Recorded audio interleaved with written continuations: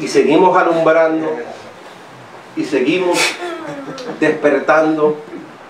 Y quiero también dar una última exhortación, que veo muchas mujeres predicadoras que están saliendo ahora.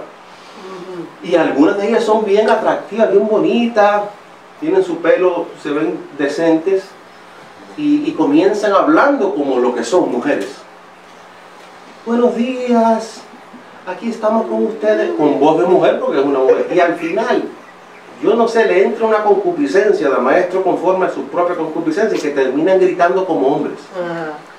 Porque Dios ha dicho. Yo dije, ¿qué pasó? Se fue de mujer a hombre. Porque ellos asumen que la unción está en base a ese tono. Gritar. Yo dije, y estoy hablando contigo, y pudiera ser un nombre, eh, eh, una lista de nombres de mujeres elegantes, bonitas, que dan mensajes de ánimo muy bonitos. No tienen apostolado, pero por lo menos están cumpliendo su función en animar al pueblo, tú sabes. Y por lo menos Cristo es predicado.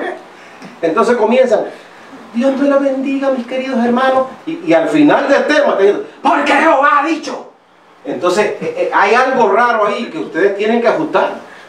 El Evangelio, escuche, el Evangelio no se grita, el Evangelio se explica. Y si tú eres una mujer, tú no tienes que cambiar. Me parece como si fuera una, una película de esa de, de ciencia ficción, de que de una voz normal cambiaste a una voz Poseídas. poseída por un demonio. Y eso es porque, porque en la escuela de pensamiento donde ustedes se criaron, le enseñaron eso. Entonces sea humilde y vuelva a aprender. No hay que gritar. Mira, mantén tu femininidad. Porque eso es una concupiscencia mala. Cuando te tiras de voz de mujer a voz de hombre al final. Eso no es una eso, eso es ser un maestro, una maestra con concupiscencia de la mala.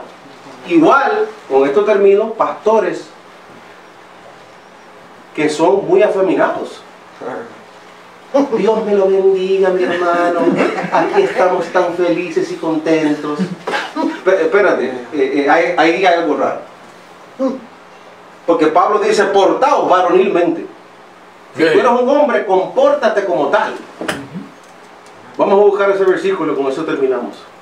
Mujeres, manténse en su compostura y hombre, si usted siente que usted se crió medio afeminado, pues comienza ahora, declaro que estoy varonil.